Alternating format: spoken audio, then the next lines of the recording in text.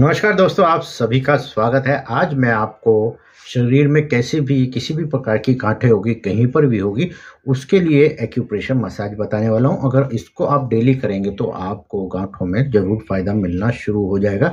बहुत ही आसान है।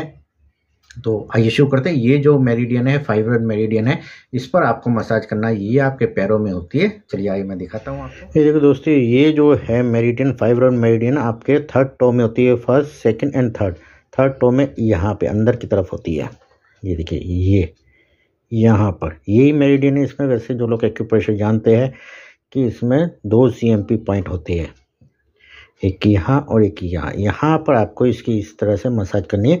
इस साइड की मसाज करनी है, ये। ये देखिए, यहाँ पर।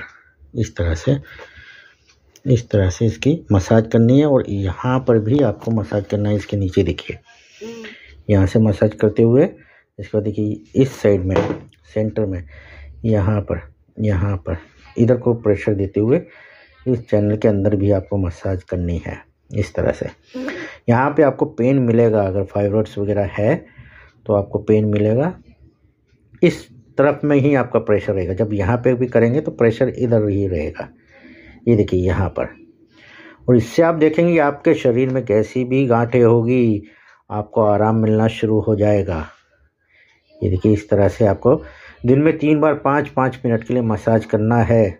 सुबह, दोपहर, शाम, ज़्यादा प्रॉब्लम होने पे आप चार बार भी मसाज कर सकते हैं। कम से कम चार, पाँच मिनट के लिए डेली इसी हिसाब से आपको मसाज करना है यहाँ का। दोनों पैरों में ये थर्ड टोई रहेगा, अंदर की तरफ़ रहेगा, उसमें भी इस तरह से देखिए, यहाँ पर आपको ये प्रेशर पॉइंट देकर इस तरह से मसाज करनी है। ये देखिए, ये ऊपर से नीचे नीचे से ऊपर, और प्रेशर आपका इस साइड रहना चाहिए, और यहाँ पर भी, ये देखिए, इस साइड ही प्रेशर रहेगा। यहाँ पर इस तरह से देखिए, पूरे में आपको इस तरह से मसाज करना है, ये। हल्का पेन फील होगा, जहाँ पे पेन हो, वहाँ पे थोड़ा मसाज आपको ज़्यादा करना है।